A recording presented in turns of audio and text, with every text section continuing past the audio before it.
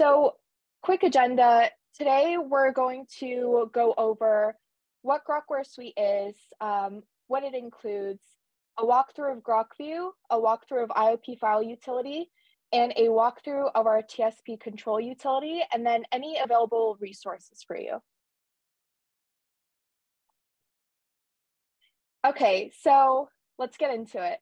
What is GroqWare Suite? So at Groq, we know their smooth development flow is a productive and happy one, which is why we developed GroqWare Suite, our software development kit or SDK. Our SDK contains all the tools you need to connect you, our software, and our software defined hardware. So with that said, let's get into the Groq software stack. By now, if you've been attending the session since yesterday, which was day one of this workshop, you've seen parts of the software stack already, but let's go through all of what's included in this SDK. So our SDK is comprised of two packages, Groq Developer Tools and Groq Runtime. Groq Developer Tool contains, and hopefully you can see my mouse, Groq Compiler, Groq API, Groq View, the IOP file utility, and Groq Assembler. So Groq Compiler, as you've already heard um, from Philip Lassen, is our MLIR or multi-level intermediate representation-based compiler, uh, which we spoke about in the previous Groq compiler session. Now, GroqFlow is our automated toolchain for porting models, and it's essentially a wrapper over our compiler, which Sanjeev spoke about in much more detail in our porting models with GroqFlow session.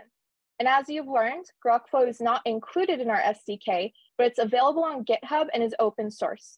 So once GroqWare Suite is installed, as we've gone over, you can simply follow the GroqFlow install guide for instructions on how to install GroqFlow. Next, we have Groq API, which is our low-level API for highly custom applications. For all intents and purposes, we've been and will be more focused on GroqFlow and the compiler for automated model development, as well as porting to Groq hardware. Moving on to GroqView. GroqView, as you've seen bits and pieces of before, is our visualization and profiler tool used to view your compiled models. The IOP file utility is a command line tool that shows your model's metadata, which we will speak about in more detail later on in this session. And last but not least, we have Groq Assembler, which assembles your compiled models to run on Groq hardware. So moving on to the second package, it's called the Groq Runtime package, and lo and behold, it contains the Groq Runtime that communicates with the Groq chip, which Aviv spoke about in the previous Groq Runtime training session. This package also includes the TSP control utility for card di diagnostics and debugging, which we'll also go over together later. Uh, and don't worry, uh, the previous sessions I've mentioned were recorded, as you know, and will be available on both our Groq YouTube and the ALCF's YouTube page. So in this session, we'll mainly focus on the available developer tools, what they are, and how to use them. We'll both learn about and play with GroqView, the IOP file utility, and the TSP control utility. So let's begin with GroqView. You may have seen this image before, but an important point I want to iterate on is that Groq's architecture is deterministic. Deterministic means predictable and repeatable performance. So with GroqView, you know the exact performance, the total execution time, and power dissipation of your models without even having to run on hardware first. GroqView is our lens into the data flow and execution of AI models on Groq hardware. It visualized our model data moving across Groq chip. So not only is this important from the standpoint of being sure your models will run fast once they're deployed, but it also brings benefit before that, where you can see upfront how fast your models will actually run before deployment. Let's think of it this way. So in a traditional system, you develop your model, you compile, you deploy, you run it multiple times to profile it, and then you go back to optimize and recompile and so on, right? With Groq, the flow is different. So you don't need to deploy with hardware. You develop your model, you compile, and then immediately use developer tools such as GroqView to see its performance. We tighten the loop and speed up innovation. So with that being said, let's learn how to use GroqView from the point of GroqFlow. So this is also going to be a little bit familiar. Um, in yesterday's porting models with GroqFlow session, Sanjeev went over how to build a GroqView visualization. So for those of you who have access to um, the server, this is a great time to log in and follow along with me, if you please, uh, so that we can build a GroqView together. And then, different from Sanjeev's session, go over in detail what the different features are. So first and foremost, we're going to activate our GroqFlow environment. So I'm going to switch to my terminal and hopefully I think you can all see that. We're going to run conda activate GroqFlow. Now, if you followed along uh, Sanjeev's session yesterday, you should have GroqFlow already installed and can go ahead and activate your environment. Next, um, we are going to use one of the examples that we have available uh, that come with GroqFlow to go in, edit an example file, and build a Groq view together. So in today's session, I'm going to go into the GroqFlow folder, examples, and we're going to use a PyTorch example.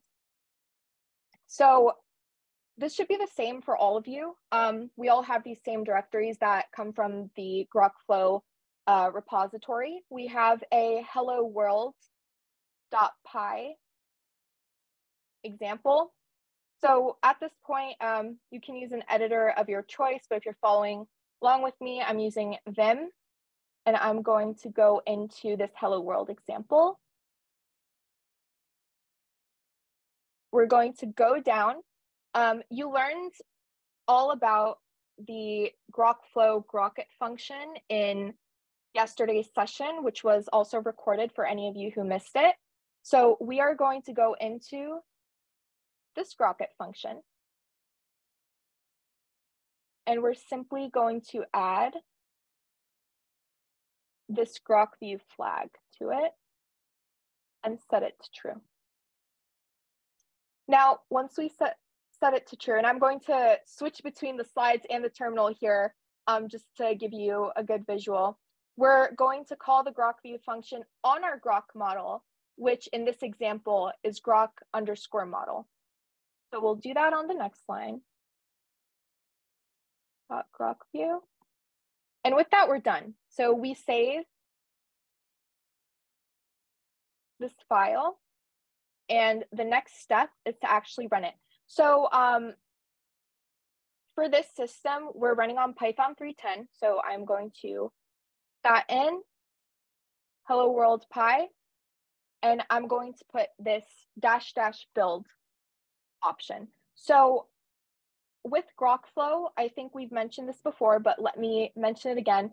If you run an example or a model without this dash dash build, it will, if it detects um, Groq hardware in your system, GroqFlow will automatically go through the entire process of building, uh, compiling your model, and then executing on Groq hardware. So for right now, I don't want to execute the model because we just want to look at the Groq view, um, which is why I'm using dash dash build, which will only tell GroqFlow to build the model and nothing else. So with that, we're going to run that command. And here we have a GroqView link that we can copy and paste into our web browser. Let me move on in the slides. So um, something that you have to do uh, before you can actually paste this into your web browser, um, you don't have to, but you may need to, create an SSH tunnel um, for this web browser to work. So I'm going to actually do that right now on my other terminal that I have open link to my server. I'm going to run this, and then I'm going to copy and paste that GroqView link so that we can take a look at it. Um, I will mainly be going through the slides that I've screenshot the different GroqView features that I want to talk about. But if you're following along with me, um, at this point, you may feel free to look at that GroqView web browser as I talk. So let's just copy that. Go back here, and I think you can see my full screen.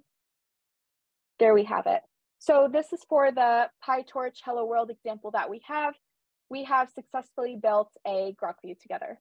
So now I want to go over all of the features, the different modes that it has, so you have a better overview of what Groq View is and what you can do with it. Okay, so for nav navigating GroqView, uh, the first thing that we look at when we launch that web browser is the settings on the top left corner. Um, I've highlighted throughout these slides uh, all of the features that I'll be talking about in the Groq orange um, color that we have.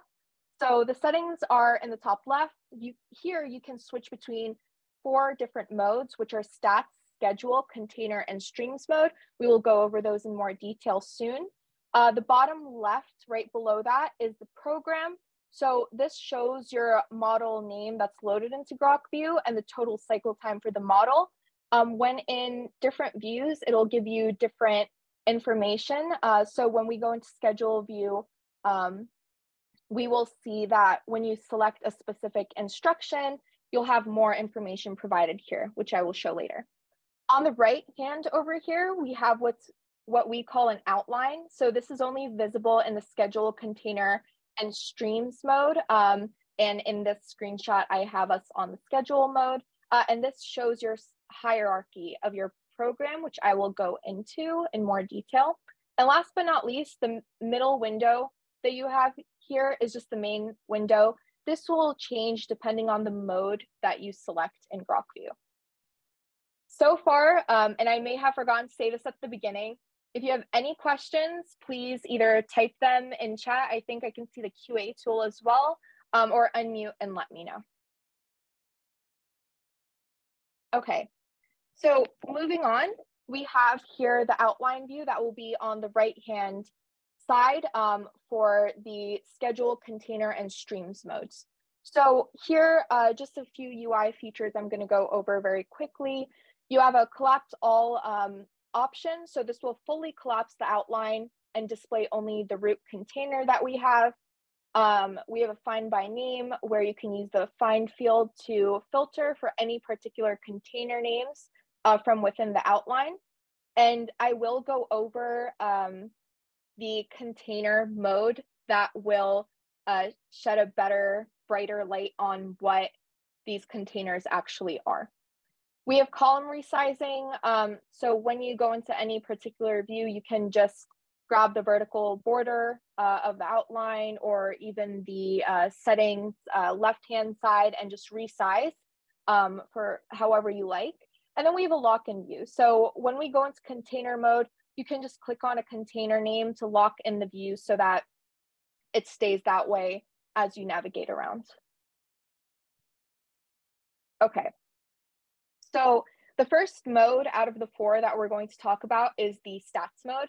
This is actually, um, if you followed along with me, it's that first landing page that we land on once we open up a Groq view.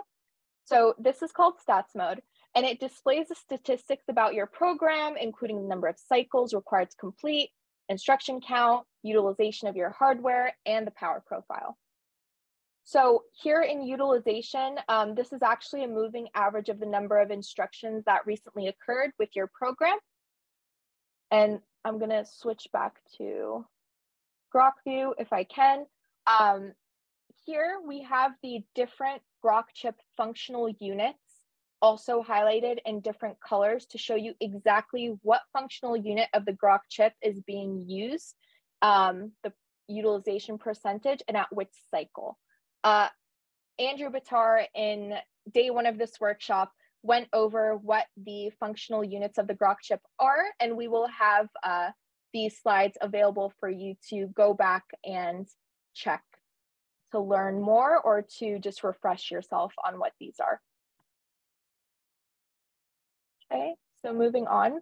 So in that same stats mode, um, next to plots where we just checked out utilization, which is already uh, selected by default, we have this power panel.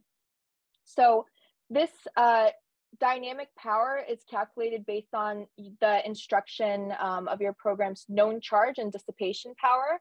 Um, and this power graph uses a leakage power that assumes that the Groq chip is kept at 65 degrees Celsius. Now, if you scroll down a little bit, if you're following along with me, we'll have the instructions view within the stats mode.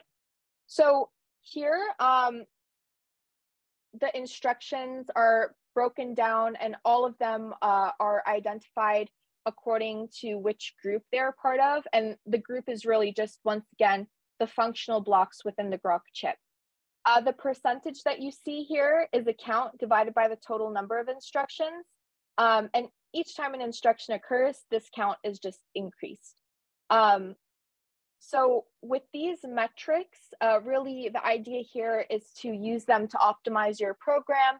Um, and as an example, uh, if this report shows that the majority of the program's instructions um, for your model were for reads and writes to memory, a potential improvement could be to chain computation together to take advantage of the streaming architecture and boost your performance.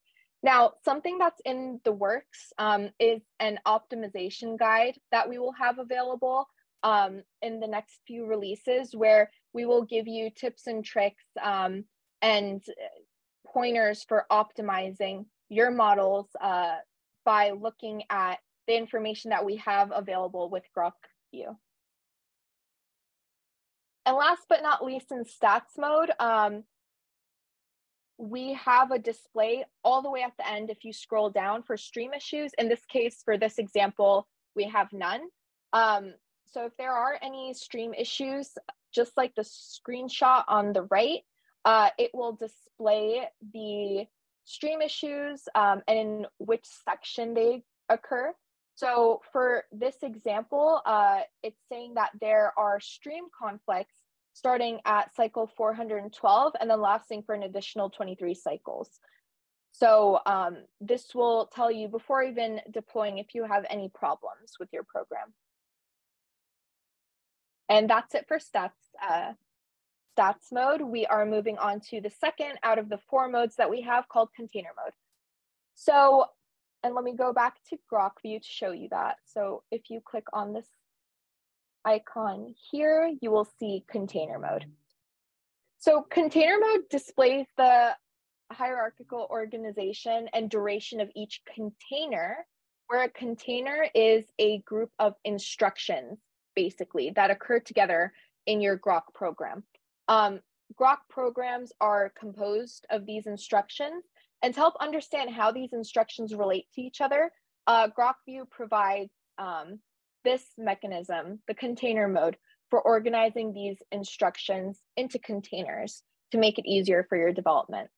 So just to go over the UI features here, we have in the middle pane what we call a timeline. So this provides your container structure in time represented as cycles and depicted um, at the top right here.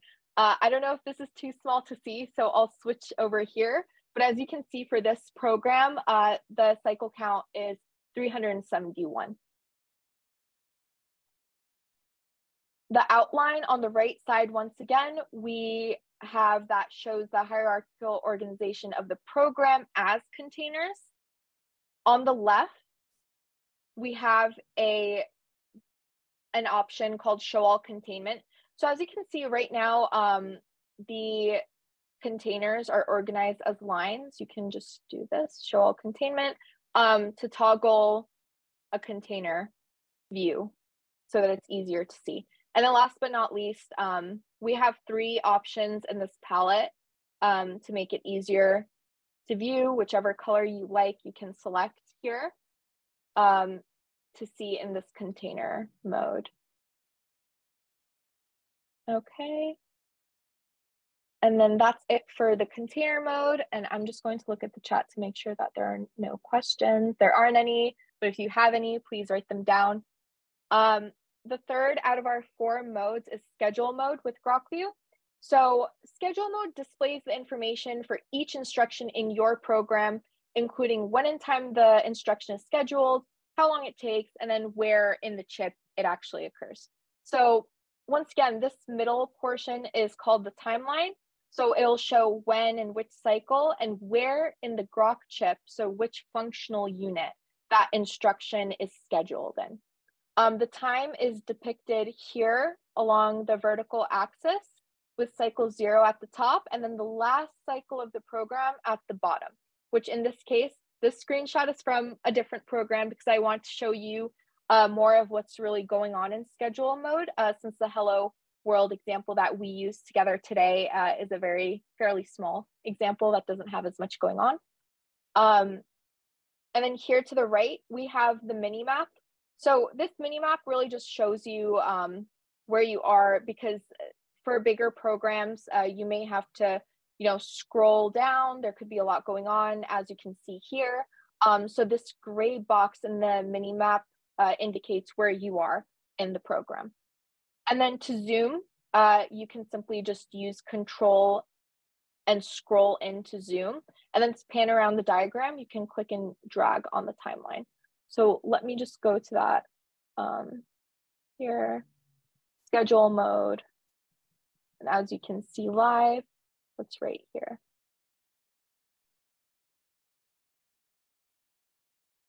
Okay, and I'm just zooming in so that we can hopefully see something here. There we go. Okay, so what you sort of just saw me do, um, and you probably saw that arrow right there, and I'm going to zoom out so we can see. This is the instruction connectivity. So when you select an instruction, like I just did right now, um, the subgraph of the connected instructions is visible for you. Um, so right here, for example, I selected this one. Once you select um, one of these instructions um, on the chip, it'll also update on the left-hand panel this program view to show you more information. So under instruction, for example, um, this instruction is taking place um, in the memory unit uh, in the West. Uh, it's a read instruction. And then its container is the add container that we have right here. Um, and then it occurs at cycle 229. So it gives you some good information um, for you to really see all those interesting and exciting details of what's actually going on on your Groq chip before you even run it on Groq chip. So that's something I really want to highlight here. This is during your development cycle as a developer where you don't have to go through that entire iteration of I need to compile, I need to um, iterate over my model, I need to deploy it, I need to run it.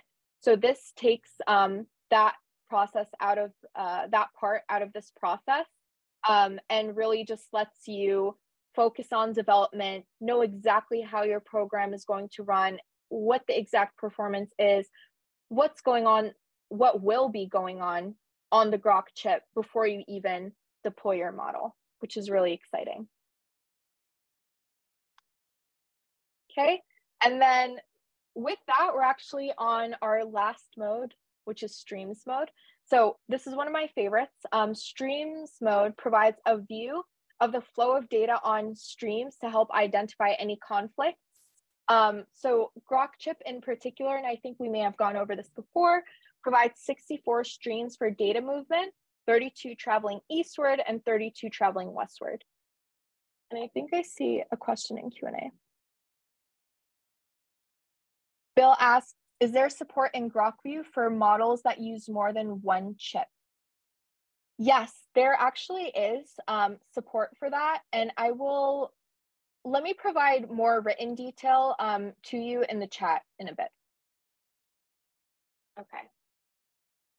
So with that, let's go over the UI features for streams mode. So at the top, and I will, um, I guess, demo this after I go over uh, this slide.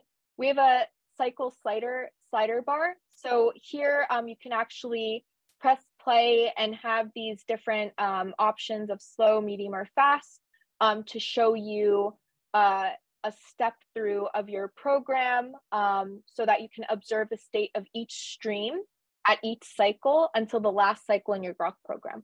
Um, here we have a minus one and plus one uh, buttons.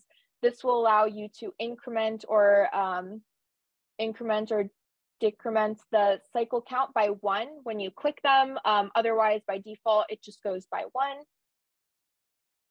The stream traversal. So as you can see right here, uh, at cycle zero, this shows the functional units that streams will traverse through. So um, this is a little bit hard to see, so I will show you in the actual Groq view I have open. But once again, we have our Groq chip functional units uh, listed here, and you will be able to see your data uh, traverse through those functional units, whichever ones that your program requires.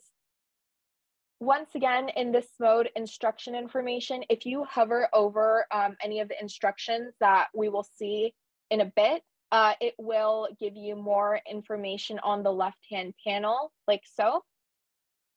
And then unit information um, and stream information. Once again, if you hover over any of the units, um, you will get more information in the left-hand panel. So let me go through and show you the stream. Okay, so I'm going to press play. Once again, this example is kind of a simple, a very simple example. So there's not a lot going on, but here, as you can see, so this is um, an instruction. Uh, hopefully everyone can see that. This is an example of an instruction that's in the program. Um, and we're going to see this traverse through the Groq chip. So I'm going to play that. And then as you can see, they're all moving and you are allowed to pause this at any time. So for example, I've paused it here and then I can go ahead and hover over this to see that, for example, this is the data that's produced by the VXM at cycle 219, and it's intended to move towards the west memory 34. So, uh, which is where it's heading if I press play right there.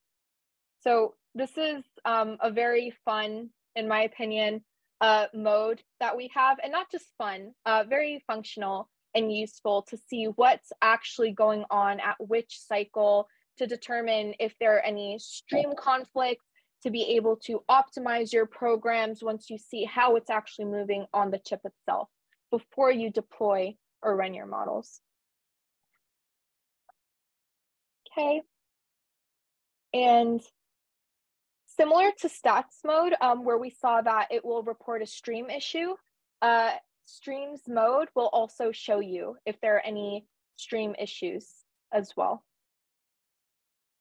Okay, with that, that was actually all I had for GroqView. Um, if there are any other questions, let me know. If not, I'm going to move on to the IOP file utility but hopefully um, that served as um, you know an informational presentation on what exactly GroqView is. You were introduced to it in previous sessions, um, and now hopefully you have more information on what you can do with it. Okay.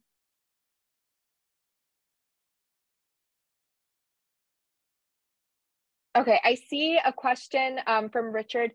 What am I looking for in this besides stream issues and how do I map an issue back to a line of PyTorch? That is a great question. And I'm going to reserve to um, answer you by typing this out uh, later. So I will move on, um, but I will definitely come back to you for this and type out my answer. Same with Bill. All right. So with that, let's move on to our second um, developer tool that we have available for you. This is the IOP file utility. Um, as I explained before, this is also part of the Groq DevTools uh, package. This is just a simple command line tool to extract the metadata um, from the input output program file. So we have gone over what an IOP or input output program file is. This tool can extract the metadata for you, um, which includes information about the number of cycles the model takes to execute, the usage of the various functional blocks within the Groq chip, and then the inputs and outputs expected. Um, To learn more about this, if you're logged into the server, you can simply run iop-utils dash dash help um, to view the options. This is, and I'm mentioning this tool mainly because um, if you remember in GroqFlow, we have a bunch of examples, but when you are developing your own models, you need to make sure that your input data for the compiled models are formatted as NumPy arrays and then that the input sizes uh, match the inputs and sizes expected by your IOP files. Um, if you're unsure of what these inputs or sizes are uh, for any reason, it's very easy to simply uh, give IOP utils your IOP file path and then go ahead and use one of its options, such as stats here, um, or it has an inputs option to see what inputs um, and sizes your IOP file expects from you. So I mainly use IOP file utility in this way uh, for developing with GroqFlow. And then I could I could um give a quick just show you guys. So this is the help menu. And then here um, I can go ahead and I think, I think I gave a, I'm not sure where the, okay. I think live coding is not my thing. I'm trying to get to, no. I want to give an IOP file from the hidden cache. It's in the in the home dir tilde slash tilde slash dot cache. Dot cache. Thank you, Bill. Awesome. Okay, so here, as you can see, because we built our um, Hello PyTorch world model, we have this directory in the, the cache directory. And in here, if we go into, I believe it's compile, yeah, we have our IOP file. So into IOP utils, I'm going to use, let's say, um, metadata, and then give it the, or not that one. So this is a really small model that we're uh, playing with. So I'm trying to see, maybe it was IO. There we go. Okay, so um, just as an example, we had our Hello World example with PyTorch. Uh, I passed that into IOP utils um, using the IO option. And here it'll show me what inputs are expected and its outputs. So this is just um, one way in which I use this tool the live demo. So moving on, uh, last but not least, I want to mention TSP control utility. So this is a command line tool to actually interact with your Groq hardware, um, including options to check the status of the available cards in your system, uh, any power readings, card statuses, and etc. This is mainly used as a debugging tool, but I wanted to mention this because um, I've gotten a lot of questions from researchers um, and others uh, just inquiring about, let's say, board temperature um, and details like that. So we actually have a very simple uh, tool, which is TSP control utility, that has a monitor option. Um, so this monitor option actually gives us that information. So I'm going to just show you that very quickly. And we have a whole uh, bunch of other options um, that you can use with the TSP control utility. And let me just demonstrate um, here with its help menu. A lot of these, hopefully you will not have to uh, touch at all, but I thought monitor would be one that we would all be interested in. So I'm just gonna go ahead and show that yeah, so on my system, uh, I just have one lonely Groq chip uh, for, for this demonstration. But uh, as you can see, um, monitor will give you the board temperature um, uh, in Celsius, the power dissipation, the IDD, and the IDD peak. And I can provide, if you are interested, more information um, about the uh, the power dissipation, the IDD, and all of that in a sort of uh, user guide.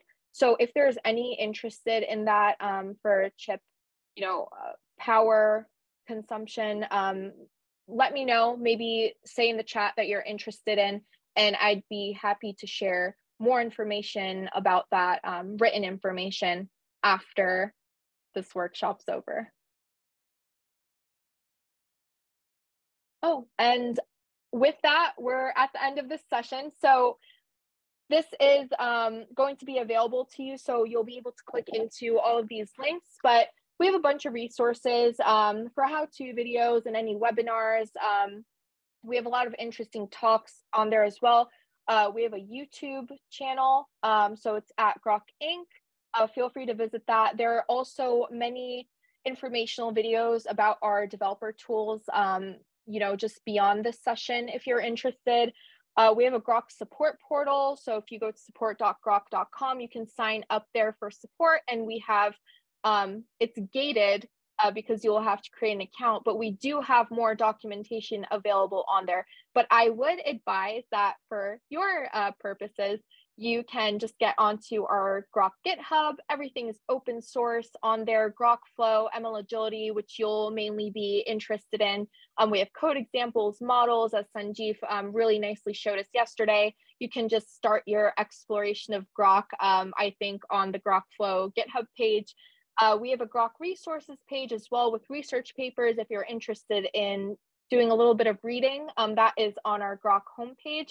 So I've added all these links here for you um, that you can take a look at. And then, of course, uh, if you have any questions at all, don't hesitate. Uh, you can reach out to us. You can follow us on Twitter. Um, if you, or I guess it's called X now, whatever, whatever you have, whatever you want to call it. And then you can also connect with us on LinkedIn